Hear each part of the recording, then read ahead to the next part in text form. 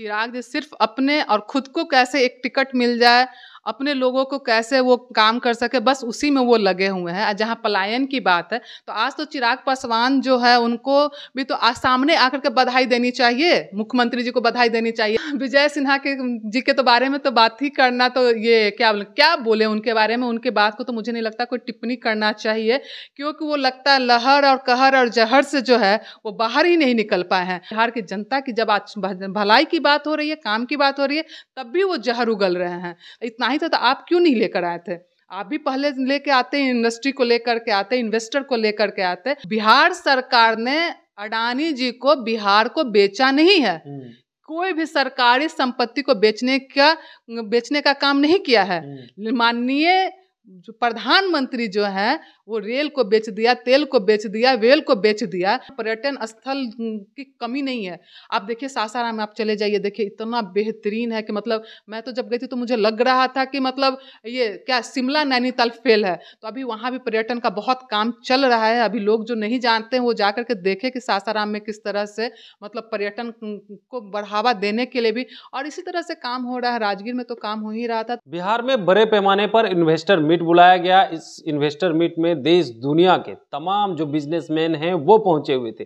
लेकिन सबसे बड़ा सवाल यह है कि जिस तरह से अडानी को लेकर के लगातार महागठबंधन सवाल खड़ा कर रही थी, वो भी अब इन्वेस्ट करने पहुँची है।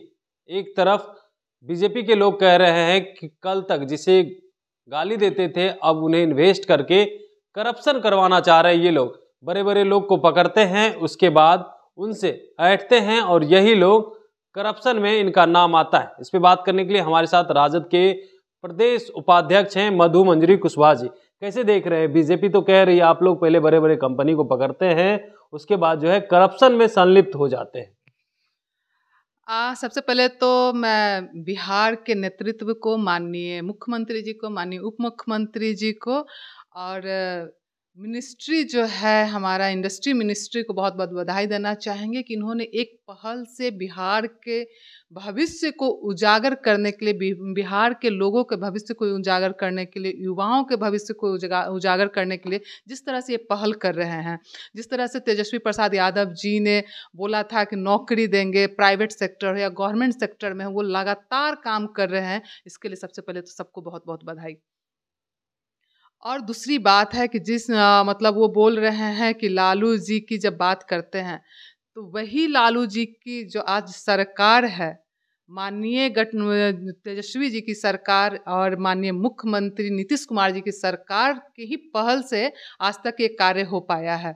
जिस तरह से बाहर के जो ये है, आपको इन्वेस्टर आए हैं बिहार में काम करने के लिए, इसके लिए हम लोग इनकी पहल से ही हुए। इतने दिनों से पंद्रह साल से बिहार की सरकार, बिहार में बीजेपी के गठबंधन की सरकार ही, लेकिन इनकी पहल आज तक नहीं, इन्होंने क्यों नहीं किया? इस पर हम बात करना चाहेंगे कि पूछना चाहते हैं हम उनसे कि आप जो बात बोल रहे हैं, आप ने क्यों नहीं पहल किया? अगर आज पहल हुई है और बिहार की सरकार ने ये पहल में अमल करते हुए मतलब ये जो आगे कार्य हुआ है तो इस पर आपको फिर ये प्रॉब्लम हो रहा है। क्या आप नहीं चाहते हैं कि बिहार में, में रोज़गार आए? क्या आप नहीं चाहते हैं कि बिहार की जनता को बिहार के अंदर ही रोज़गार मिले? तो इसमें आपको क्यों दर्द हो रहा है? ये तो हम खुद उनसे पूछना चाहेंगे। लेकिन विजय सिन्हा भी हमलावर हैं वो कह रहे हैं कि जिस तरह से इन आए हैं ये लोग यहाँ पे और करप्शन अब तो भरेगा ही यहाँ पे। तो उनको लेकर के क्या कहना विजय सिन्हा के, जी के तो बारे में तो बात ही करना तो ये क्या बोले क्या बोले उनके बारे में? उनके बात को तो मुझे नहीं लगता कोई टिप्पणी करना चाहिए, क्योंकि वो लगता है लहर और कहर और जहर से जो है, वो बाहर ही नहीं निकल पाए हैं। और वो हमेशा बिहार की जनता के लिए क्या काम करेंगे? बिहार की जनता की जब भलाई की बात हो रही है, काम की बात हो रही है, तब भी वो जहर उगल रहे हैं। तो उनकी सोच पर तो पहले वाला तो बहुत बड़ा क्वेश्चन मार्क उठता है कि बिहार की जनता के लिए आपके दिल में इतना जहर भरा हुआ है है कि आप इस तरह से पटांग बयान दे रहे हैं। जब आज बिहार में रोज़गार आने की बात हुई है, तब आप मतलब इस पर आप मतलब आप जहर उगल रहे हैं कि बिहार में ऐसे हो गया, वैसे हो गया। इतना ही था तो आप क्यों नहीं लेकर आए थे? आप भी पहले लेके आते हैं, इंडस्ट्री को लेकर के आते इन्वेस्टर को लेकर के आते और बिहार के सरकार जो है बिहार को बेचने का काम नहीं किया है। बिहार के सरकार जो है, बिहार में रोज़गार लाने की जो बात की थी, उस बात को आज अमल किया गया है और उस बात को अमल करते हुए इन्होंने एक और कहा था कुछ कि ज़मीन कहाँ से? बियाडा के पास बिहार में इतने ज़मीन है तक तकरीबन तीन सौ एकड़ से के आसपास हमारे पास ज़मीन है, बियाडा के पास ज़मीन है। ज़मीन का बिहार में कोई कमी नहीं है। जितनी भी इंडस्ट्री आएगी, बिहार सरकार उसको फिलफुल फुलफिल करने की कोशिश करेगी।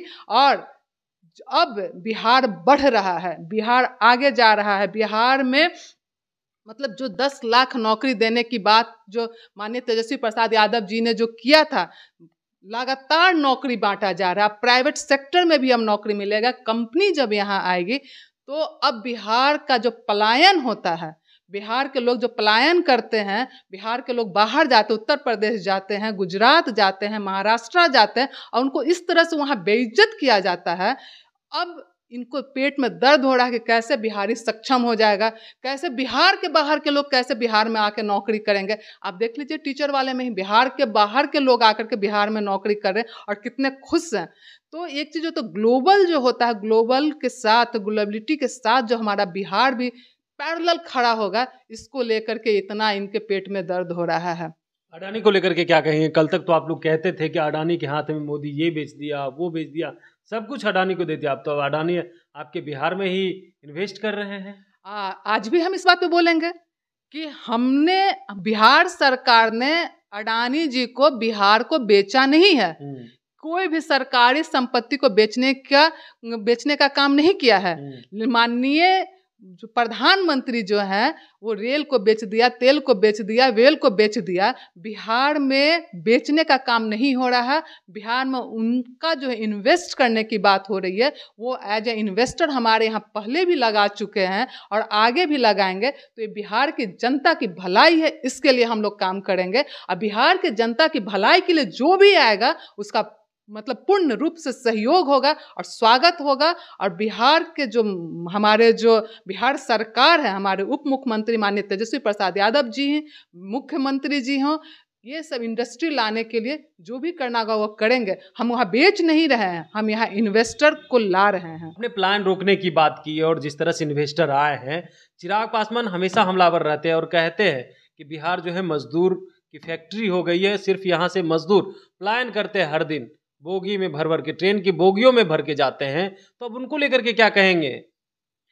चिराग जी के बारे में क्या बोलना है? उन पर तो कोई टिप्पणी करना ही बेकार है।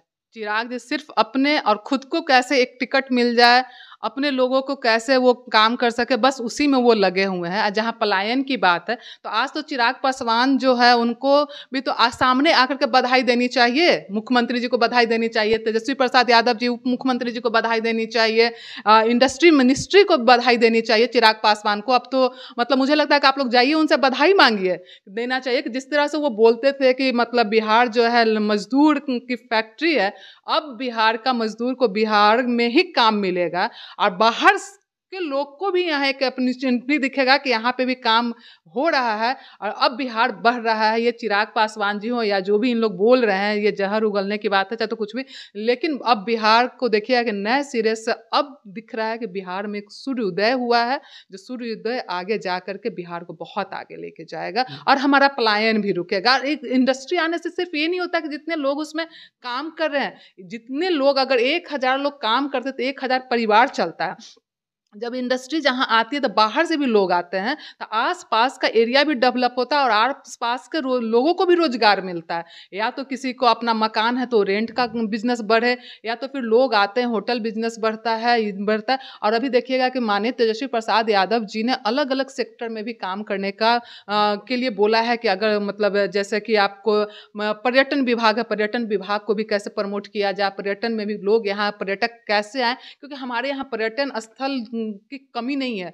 आप देखिए, सासाराम में आप चले जाइए, देखिए, इतना बेहतरीन है कि मतलब मैं तो जब गई थी तो मुझे लग रहा था कि मतलब ये क्या शिमला नैनीताल फेल है। तो अभी वहाँ भी पर्यटन का बहुत काम चल रहा है। अभी लोग जो नहीं जानते हैं, वो जा करके देखे कि सासाराम में किस तरह से मतलब पर्यटन को बढ़ावा देने के लिए भी। और इसी तरह से काम हो रहा है। राजगीर में तो काम हो ही रहा था। तो पर्यटन में भी अलग अलग इंडस्ट्री में अलग अलग क्षेत्रों में लोग काम कर रहे हैं। हमारी जो सरकार है और आगे बहुत जल्द ये दिखेगा कि बिहार में बहुत बहुत सारी इंडस्ट्री नहीं आई और अलग अलग क्षेत्रों में भी काम हो रहा है। तो सुन रहे थे हमारे साथ थे राजद के उपाध्यक्ष। क्या कुछ कहना था इनका? क्योंकि जिस तरह से अब इन्वेस्टर पहुँच रहे हैं इन्वेस्ट करेंगे एक और अडानी। अकेले सतासी सौ करोड़ का इन्वेस्ट करने जा रही है, वहीं कई ऐसी कंपनियाँ हैं जो हज़ारों करोड़ को इन्वेस्ट करेगी और कई ऐसी कंपनी का कहना है कि डायरेक्ट इनडायरेक्ट रूप से हज़ारों लोगों को नौकरी मिलेगा। इसको लेकर के साथ ही साथ जिस तरह से बीजेपी हमलावर है और करप्शन को लेकर के जो सवाल खड़ा कर है उसको लेकर के साफ़ तौर पे जो है विजय सिन्हा हो या बीजेपी के कोई नेता, उनको भी खूब हरकाया और कहा है कि देखिए, अब दिख नहीं रहा किस तरह से बिहार में अब लोगों को रोज़गार मिल रहा है और आप हर बार सिर्फ़ सवाल खड़ा करने का काम जानते हैं। उसके अलावा जो काम होता है, उस पर आपका ध्यान कहाँ रहता है? वहीं चिराग पासवान को लेकर के भी कह दिया, क्योंकि चिराग पासवान लगातार बिहार फ़र्स्ट और बिहारी फ़र्स्ट की बात करते हैं, पलायन की बात करते हैं। बिहार जो है मजदूर की फैक्ट्री बन गई। इस तरह की बात करते हैं। इसको लेकर के भी इन्होंने कहा है कि देखिए, चिराग पासवान को तो अब धन्यवाद देना चाहिए। नीतीश तेजस्वी की सरकार को आखिर किस तरह से अब बिहार में काम हो रहा? Kamlesh Kumar, live Bihar, Patna. Live Bihar YouTube पर सब्सक्राइब और फेसबुक पर लाइक ज़रूर करें।